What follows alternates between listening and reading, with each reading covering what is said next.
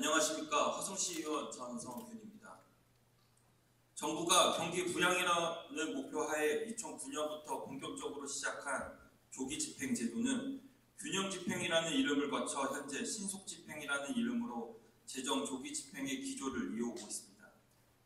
화성시도 이에 부응하여 2022년 상반기 경기도 내 1위 전국 19군 중 2위의 성적으로 신속 집행 최우수 지자체로 선정되었으며 인센티브를 특별급세 등 금 1억 원을 확보하였습니다. 화성시 공무원 여러분 고생하셨습니다. 하지만 본 의원이 오늘 이 자리에 선 것은 화성시가 이룬 신속 집행 성과를 홍보하고 독려하, 독려하기 위함이 아닙니다. 화성시가 인센티브를 얻고 국도비 지원 시 페널티를 받지 않는 대신 잃은 것은 무엇인지 이로, 이로 인해 문제는 무엇인지 다시 한번 생각해 볼 필요가 있습니다. 첫 번째는 화성 시민의 안전입니다.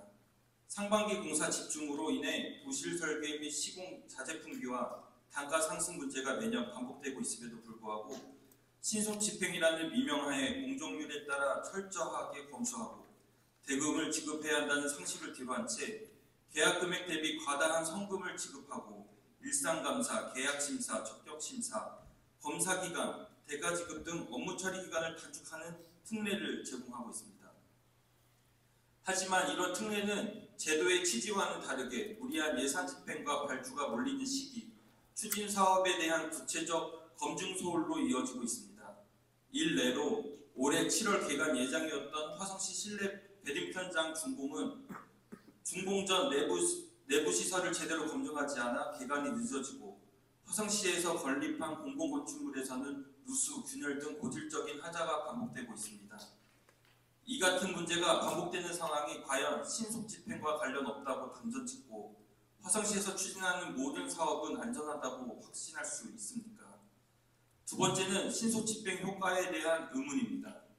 신속 집행은 상반기 재정 투입을 바탕으로 생산, 고용, 소득, 소비를 증대를 통한 경기 부양을 목표로 하고 있습니다.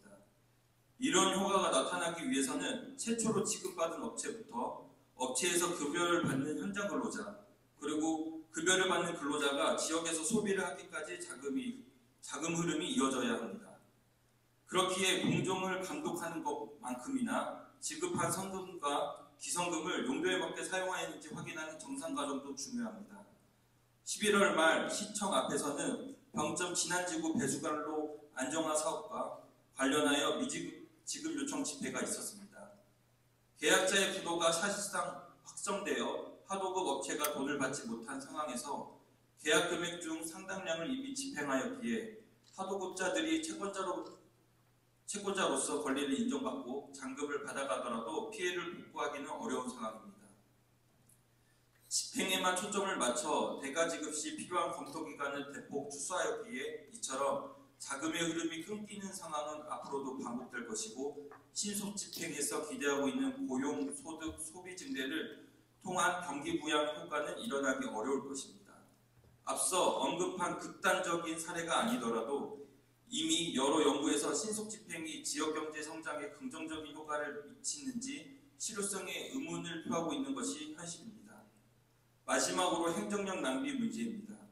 제도의 성과 분석, 평가, 근거도 없는 조상모사 같은 제도 아래 무리한 실적 경쟁으로 공무원들은 내몰고 앞서 언급한 악순환 처리에 투입되는 행정력 낭비는 결국 시민들에게 제공할 서비스 질 하락으로 연결되기에 피해는 고스란히 시민들에게 전가된다고 할 수 있을 것입니다.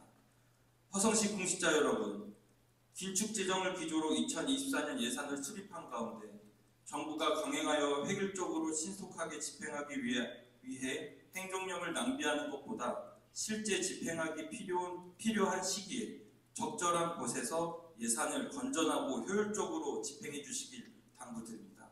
감사합니다.